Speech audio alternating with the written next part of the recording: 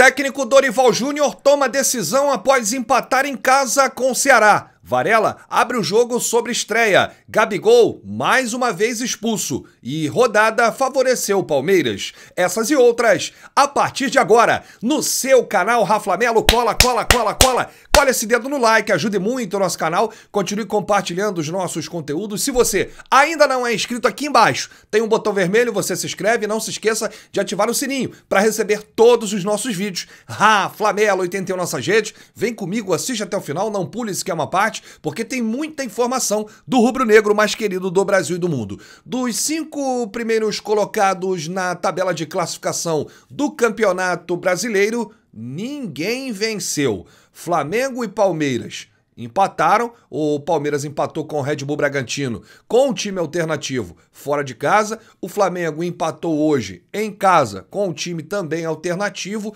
Corinthians e Inter empataram e o Fluminense perdeu.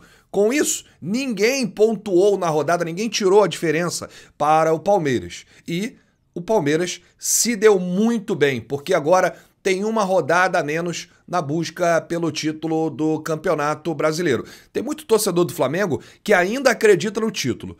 Outros jogaram a toalha. Eu coloco aqui como exemplo o Campeonato Brasileiro de 2020, que a gente conquistou o título na última rodada, perdendo para o São Paulo com o empate do Inter de Porto Alegre com o Corinthians. Então, eu não desisto nunca. Eu confio até a última rodada. Enquanto tiver chance, matematicamente, eu vou estar aqui acreditando. Agora, Dorival, não pode colocar o Campeonato Brasileiro de lado, né?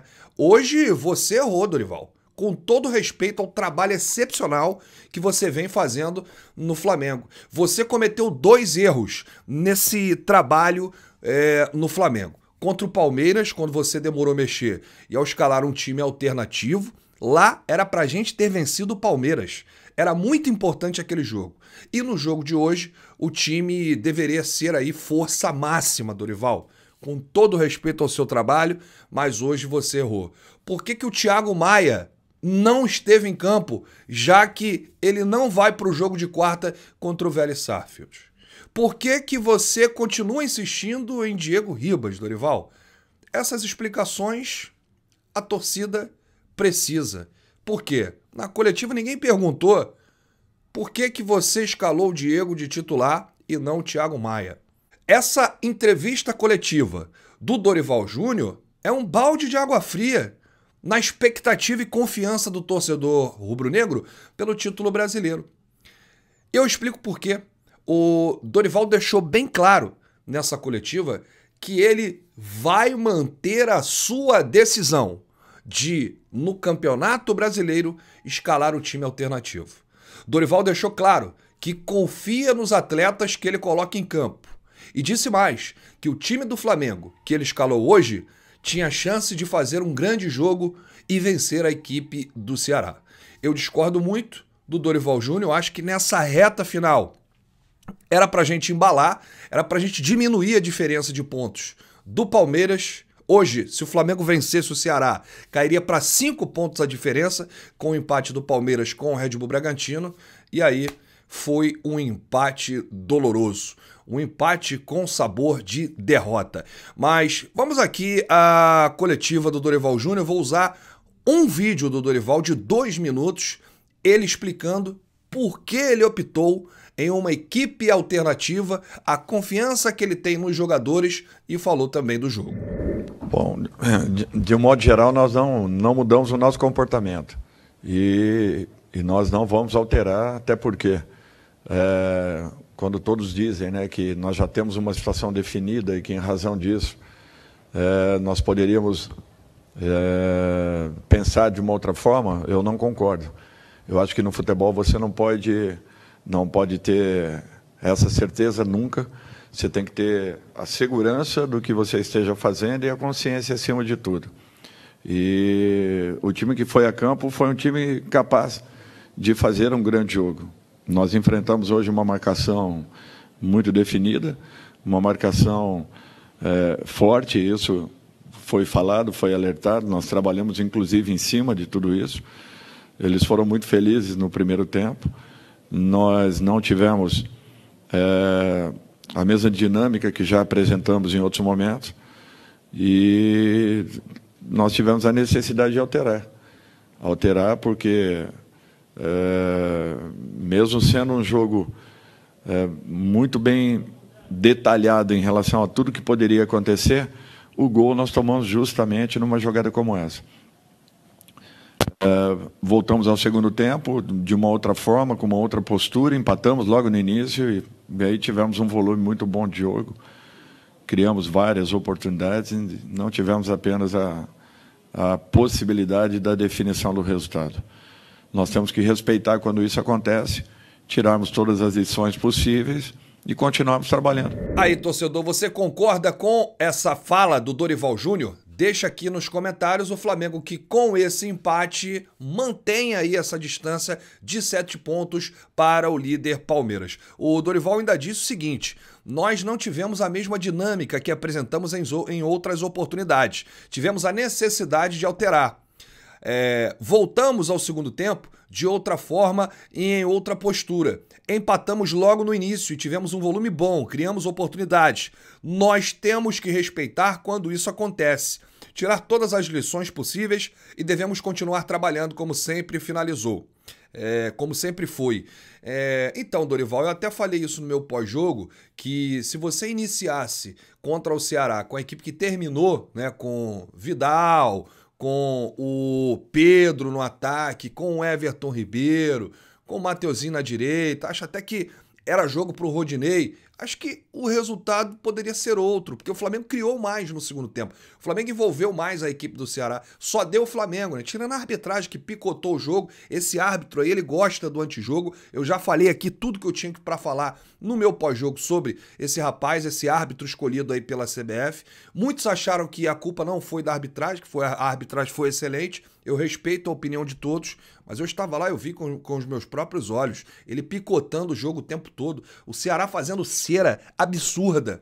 É, o Ceará queria sair de lá com empate. O empate para o Ceará lá é um título de Copa do Mundo. Só que o Flamengo é, desperdiçou aí né, dois pontos em casa, ganhando apenas um com o empate. O Dorival falou sobre isso. Não foi a perda dos pontos. Perdemos uma rodada para se aproximar. Foge do contexto, temos de conviver. Não abrimos mão das três competições. Estamos é, vivos. Atenção muito grande. Temos ótima vantagem para quarta-feira. Estamos focados nas três. Não mudei o que vinha sendo feito no Brasileiro, na Libertadores e na Copa do Brasil. Acontecem pequenos problemas, mas não podemos tirar é, do rumo. Né? Não, não, não podemos nos tirar do rumo. É, eu vou trazer aqui uma, uma fala que me surpreendeu do Dorival Júnior e vou compartilhar com vocês. Sobre a escalação do time, o Dorival falou o seguinte: Não tenho arrependimento nenhum. Confio na equipe que coloquei em campo. Não podemos colocar na conta dos jogadores situação que você acredita e tem uma decisão tomada. Nós pensamos de outra forma. Não quero correr o risco, temos histórico sobre isso, só voltar no tempo. Precaução tem que fazer parte da nossa vida. E não quero uma surpresa desagradável na quarta-feira. Futebol prega peças.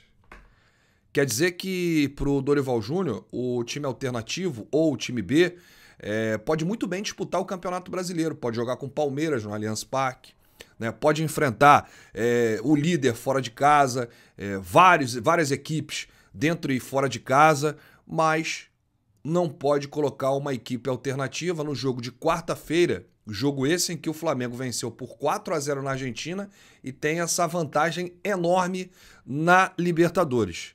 É uma loucura que não entra na minha cabeça. Eu sei que vai ter gente que vai pensar diferente, respeito a opinião, vivemos numa democracia. Agora, o jogo de hoje era muito mais importante do que o jogo de quarta, pelo resultado que o Flamengo fez fora de casa. Hoje era um jogo para a gente se aproximar ainda mais do líder, que poderia colocar o Flamengo mais próximo do título do Campeonato Brasileiro. O jogo quarta-feira, o Dorival poderia colocar até mesmo uma equipe alternativa que vinha bem no Brasileirão e que ele confia. Quer dizer, ele demonstrou aqui com essa fala que ele tem mais medo do jogo de quarta do que ele teve medo do jogo de hoje. É uma loucura, né? Bom, a gente traz aqui uma próxima informação sobre a expulsão de Gabriel Barbosa. É uma nova expulsão. O Gabigol Nós temos dois pontos aqui para falar do Gabriel Barbosa. O Gabigol hoje, ele estava diferente dos outros atletas. O Gabigol, ele queria muito essa vitória. Por isso que ele estava ligado 220, estava irritado, estava discutindo, reclamando, caía no chão, se jogava, não, não acreditava nas jogadas. E o árbitro estava observando o Gabigol. E aí ele foi expulso, quando ele já tinha amarelo, ele chutou a bola no adversário. Gabigol também não pode perder a cabeça desse jeito, porque o Flamengo fica com a menos em campo, ele desfalca no próximo jogo do Campeonato Brasileiro e é ruim, né, Gabigol? Para sua imagem também. A gente entende por um lado que você fica chateado com a arbitragem, o árbitro pega no pé, mas o histórico de expulsão é enorme com a camisa do Flamengo. E hoje a torcida está criticando bastante o Gabigol nas redes sociais. Deixa aqui nos comentários o que você achou da expulsão do Gabigol. Ele teve culpa? Ele foi garoto? É, pediu para ser expulso? Ou o árbitro exagerou? Deixa aqui nos comentários a sua opinião. Ó, o Dorival deixou claro nessa coletiva de hoje que ele vai de time alternativo contra o Goiás fora de casa, né, lá em Goiânia, na próxima rodada do Campeonato Brasileiro. Agora, Varela abre o jogo sobre estreia, fala de arbitragem. Vamos ouvir o camisa 2, lateral direito e novo reforço do Flamengo que estreou hoje. Bueno, primeiro feliz, feliz de, de debutar com, Flamengo, de ponerme la, camiseta, que bastante este, lo estaba buscando estos partidos. Y bueno, con, con, respecto al equipo, un poco sabor amargo por, no haber logrado el objetivo que hoy era ganar para cortar los puntos con Palmeira. Pero bueno, este, el equipo propuso, intentamos todo. Eh, ellos vinieron a, prácticamente a lo que vinieron, a hacer un poco de tiempo, eso no, no jugó en contra, pero bueno, ya hay que pensar en el próximo partido. Varela, É, a gente teve hoje uma partida onde muitos erros de arbitragem, o árbitro picotando muito o jogo e prejudicando é, a partida no modo geral. Eu queria que você falasse um pouco sobre a atuação da arbitragem nesse jogo. Y no, no quiero hablar mucho de, del arbitraje, pero, pero bueno, más que sobre nosotros, lo que podemos mejorar. Y, y el rival obviamente hizo eh, su trabajo de, de hacer tiempo y eso no, nos fue un poco en contra, pero, pero bueno, este, falta mucho todavía en el Brasileirão y tenemos la, la esperanza de lograr el objetivo todavía. Você acha que ainda falta muito para chegar no seu condicionamento, melhor condicionamento físico? Como é que, tá, como é que você está se sentindo fisicamente? Bueno, es el primer partido recién, este, como lo dije hace un ratito, ni yo sabía y también Dorival que no iba a aguantar 90 minutos porque el ritmo es, es fuerte. No hay partido fácil acá en, en, en, Brasil y menos para Flamengo que todos vienen a, a querer ganarle. Y bueno, a medida que, que voy jugando, voy, voy agarrando ritmo y sintiendo, sintiéndome mejor. Aí você acompanhou o uruguaio Guilhermo Varela. Eu me despeço por aqui, prometendo voltar a qualquer momento com novidades do rubro-negro mais querido do Brasil e do mundo. Vamos com tudo, levantar a cabeça e ser Mengão. Quarta-feira já tem decisão e vamos conquistar aí a vaga histórica para a final da Libertadores, mais uma, hein? Três finais em quatro anos. Saudações, bate no peito e diz: Isso aqui é Flamengo? Valeu!